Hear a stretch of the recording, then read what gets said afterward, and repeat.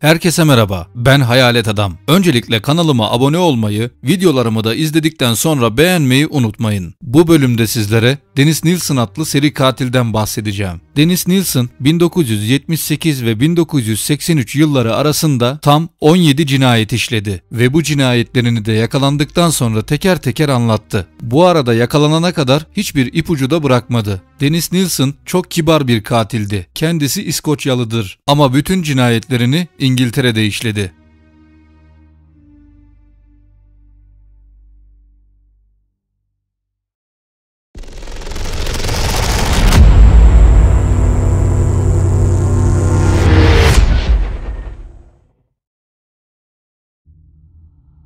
Dennis Nielsen 23 Kasım 1945'te İskoçya'da dünyaya geldi.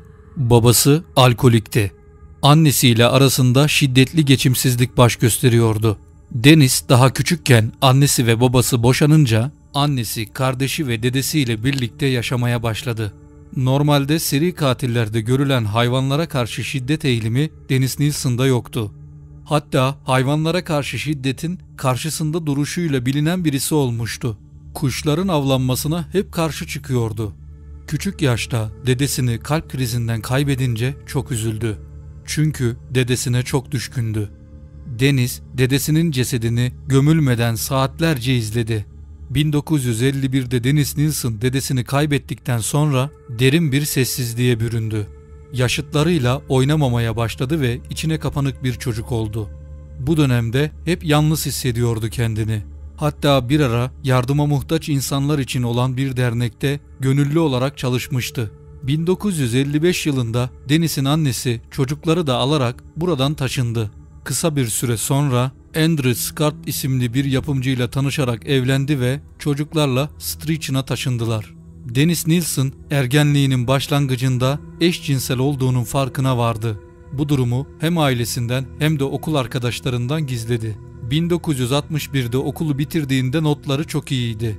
Kariyer konusunda karar verebilmek için okuldan sonra bir konserve fabrikasında işe girdi. Bu fabrikada 3 hafta çalıştıktan sonra orduda şef olarak çalışmaya karar verdi.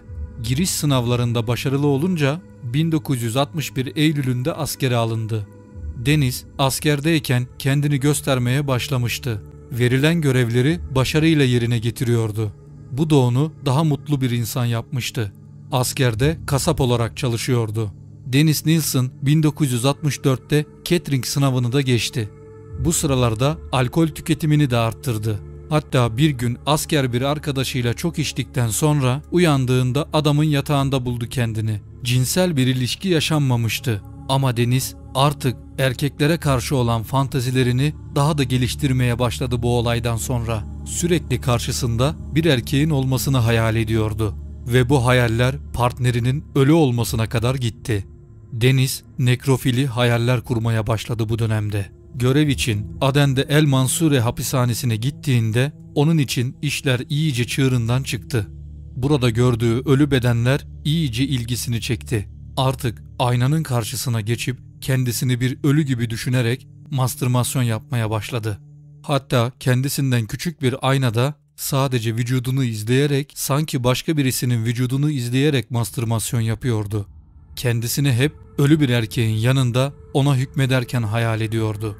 Dennis Nielsen tam 11 sene askerde kaldı. Başka ülkelerde yaptığı askerlik görevleri bitince tekrar ailesinin yanına geri döndü. Askerliğini bitirmiş olan Deniz için annesi artık evlenmesi gerektiğini sık sık söylüyordu. Ama Deniz oralı olmuyordu. Bir gün evde eşcinsel olduğu ortaya çıkınca da bütün ailesiyle arası bozuldu. Artık onlar Deniz ile konuşmuyorlardı ve irtibatı kestiler. 1972'de ordudan ayrıldıktan sonra bir süre Londra Polis Teşkilatı'na girmek için sınavlara hazırlandı ve 1973'te polis olarak göreve başladı. Çevresinde çok kibar bir insan olarak biliniyordu. Polislik görevi boyunca hiç zor kullanmadı. Bu sıralarda artık yalnız başına barlara gidip içki içiyordu. Genelde eşcinsel barları tercih ediyordu. 1974 yılına gelindiğinde polislikten istifa edip güvenlik görevlisi oldu. Daha sonra ise istikrarlı bir iş olsun diye memur olmaya karar verdi. Deniz burada kaldığı sürece sendikal hareketlerde aktif olmuş, işçilere karşı vicdanlı birisi olarak biliniyordu. 1979'da genel müdür yardımcılığına atandı ve 1983'te ise icra memurluğuna atanarak yakalanana kadar burada görev yaptı.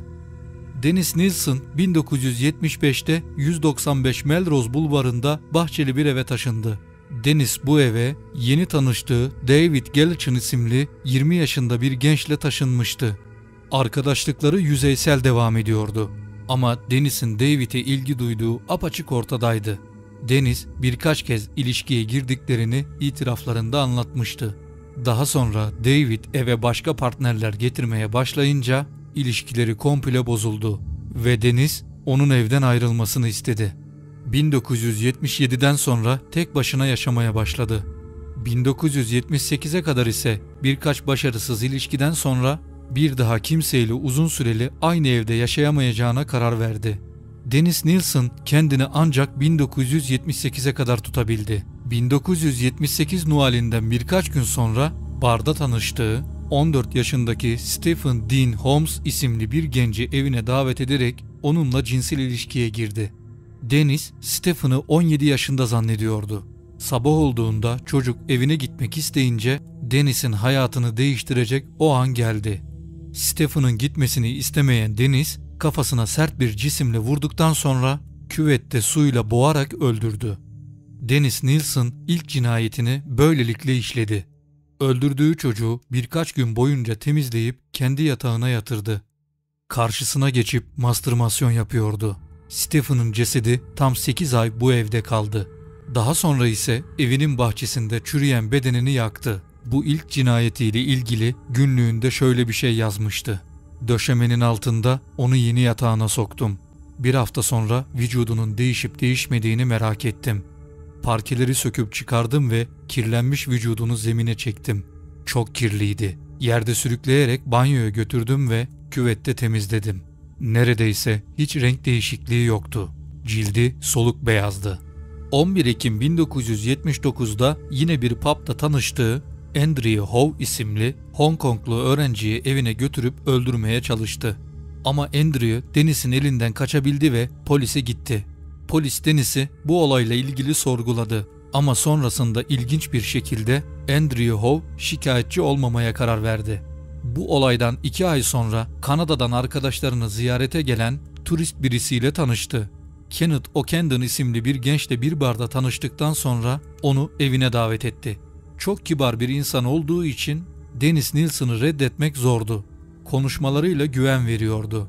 Kenneth'ı Melrose Bulvarı'ndaki evine götürdükten sonra biraz içki içtiler ve Deniz genç turisti boğmaya başladı. Kenneth'ı da boğarak öldürdü. Ertesi gün Polaroid bir makine alarak evine geri döndü. Makineyi alıp eve döndüğünde Kenneth O'Candon'ı çıplak bir şekilde fotoğraflamaya başladı. Birkaç saat televizyon izledikten sonra cesedi yine döşemenin altına koydu. Deniz devam eden süreçte iki hafta boyunca dört kez daha cesedi döşemenin altından çıkarıp içki içerken veya televizyon izlerken yanına koydu. Öldürdükleri insanlardan bir hatıra bırakmak seri katiller için önemlidir. Diğer işlediğimiz seri katillerde de bunu görüyoruz. Örneğin Jeffrey Dahmer da öldürdüğü insanları fotoğraflıyordu. Daha sonra bu fotoğraflara bakmak öldüren insan için bir güç simgesi. Ona hükmettiğini gösteriyordu ve kendilerini tanrı konumuna koyuyorlardı. Zaten Ted Bundy'nin de cinayet işlemesinin sebebi bunlardan bir tanesiydi. Kendisini bir tanrı olarak görüyordu. Dennis Nilsson 1980'in 17 Mayıs'ından başlayarak aynı yıl içerisinde 6 kişiyi daha öldürdü. Artık onun için işler çığırından çıktı. Öldürme arzusunun önüne geçemiyordu kontrolü tamamıyla kaybetti. Öldürdüğü insanlara artık evinin döşemesinin altında toplaması kendisine sorun yaratmaya başladı. Döşemenin altındaki ölüler böcekleniyor ve kurtlandığı için evde ağır bir koku oluşuyordu. Döşemeleri kaldırıp altına böcek ilacı ve deodorant sıkıyordu ama nafile. Başka bir çözüm bulması gerekiyordu. Bütün cesetleri çıkarttıktan sonra parçalara ayırdı ve bahçede yakmaya başladı. Bu yakma işleminden çok fazla koku yayılmasın diye de araba lastiği yaktı. Adeta bir ölü yakma ayini gibi ateşin etrafında dönüyordu. Geride kalan bazı kemikleri de tırmık yardımıyla kırarak un ufak etti.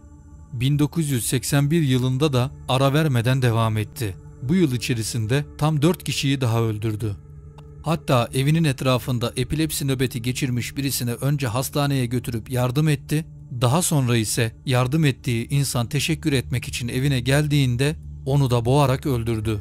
1981 yılının sonuna doğru ev sahibi evde tadilat yapacağı için evden çıkmasını istedi. Dennis Nilsson son cesetleri hala döşemenin altında tutuyordu. Bu konuda ev sahibine karşı biraz direndi ama taşınma ücreti olarak 1000 sterlin gibi bir paraya evden taşınmayı kabul etti.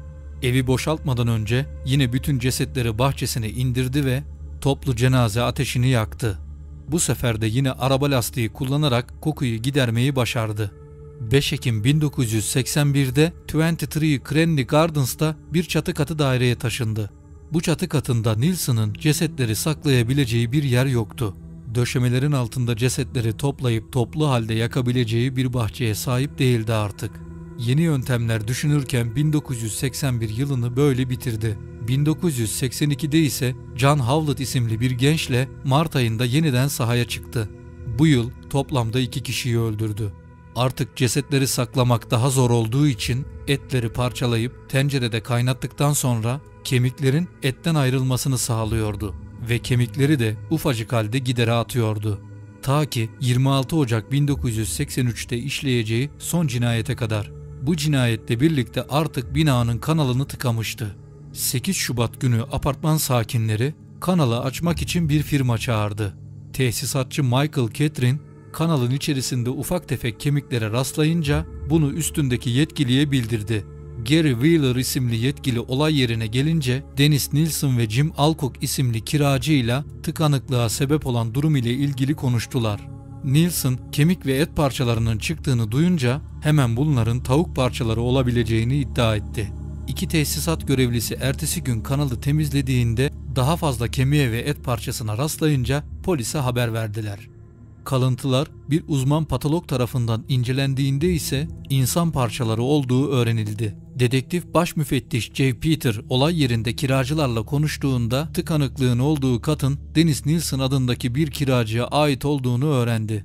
Baş müfettiş Nilsson'ın işten eve dönmesini dışarıda beklemeye başladı. Dennis Nilsson eve geldiğinde kapısına gidip birkaç soru soracaklarını söylediler. İçeri girme isteklerine Deniz çok fazla karşı çıkmadı. İçeri girildiğinde polislerin burnuna çürümüş et kokusu anında geldi. Katilin Dennis Nilsson olduğunu anlayan J. Peter ona doğrudan vücudun geri kalanı nerede diye sordu. Sonunun geldiğini fark eden Nilsson parçaların gardıropta iki plastik poşetin içinde olduğunu direkt söyledi. Polisler gardırobu açma zahmetine girmeden başka ceset var mı diye sorunca da bu çok uzun bir konu. Size her şeyi anlatacağım ama burada değil diye karşılık verdi. 10 Şubat günü polis merkezinde sorgusu başladı Deniz Nilsson'ın. Deniz Nilsson evin içerisinde parçaları nereye sakladığını polislere bir bir anlattı. Aynı gün içerisinde polis oraya gittiğinde söylediği gibi parçaları birer birer buldu. Ayrıca 1978'den bu yana 12 veya 13 kişiyi öldürdüğünü de itiraf etti. Bu öldürdüğü insanların cesetlerini de daha önce oturduğu 195 Melrose bulvarında bahçede yaktığını itiraf etti. Polisler Dennis Nilsson'la beraber buraya incelemeye gittiğinde araştırmacılar tam binin üzerinde kemik parçasına rastladı. Hemen o akşam polis evde bahsettiği gibi parmak izlerine de rastlayınca Dennis Nilsson ile uzun bir sorgulama süreci başlattı. 30 saatten fazla süren sorgulamalarda neden öldürdüğünü bilmediğini söylüyordu. Hatta öldürme eylemini son ana kadar düşünmeyip bir anda uyguladığını söylüyordu. Kurbanlarının hepsini boğarak öldürüyor ve yara alan yerlerine makyaj yaparak tekrar düzgün görünmesini sağlıyordu. Öldürdükten sonra kurbanlarının üzerine çıkıp mastürmasyon ve bazılarıyla da cinsel ilişkiye girdiğini itiraf etti. Cesetlerin en son çürüme noktasına geldiğinde ise önlerinde son bir kez mastürmasyon yaptığını söylüyordu. Bunun kurbanları için son bir veda jesti olduğuna inanıyordu. Dennis Nilsson ulaşılabilen 6 cinayetten ve cinayete teşebbüsten 24 Ekim'de yargılanmaya başlandı. Cinayetleri itiraf ettiği için savunma avukatının yapabileceği hiçbir şey yoktu. Sadece prosedür gereği mahkemede yerini aldı. Duruşmalar devam ederken elinden kurtulan bazı tanıklar da mahkemeye gelerek ifade verdiler. 3 Kasım 1983'te ise 6 cinayet ve cinayete teşebbüsten ömür boyu hapis cezasına çarptırıldı. Dennis Nilsson temiz başvurusunda hiç bulunmadı. Gönderildiği Wellwood Strax hapishanesinde bir kişi tarafından jiletle saldırıya uğradı. Göğsünde ve yüzünde kesikler oluşan Nilsson'a tam 89 tane dikiş atıldı. Buradan sonra birkaç hapishane daha değiştirdikten sonra 12 Mayıs 2018'de sağlık sorunları nedeniyle öleceği tarihe kadar HMP Fulsat hapishanesinde kaldı. Dennis Nilsson hapiste kaldığı süre boyunca çizimlerle uğraşmış hatta bir de kitap yazmıştır. Videoyu izlediğiniz için teşekkür ederim. Bir sonraki videoda görüşmek üzere.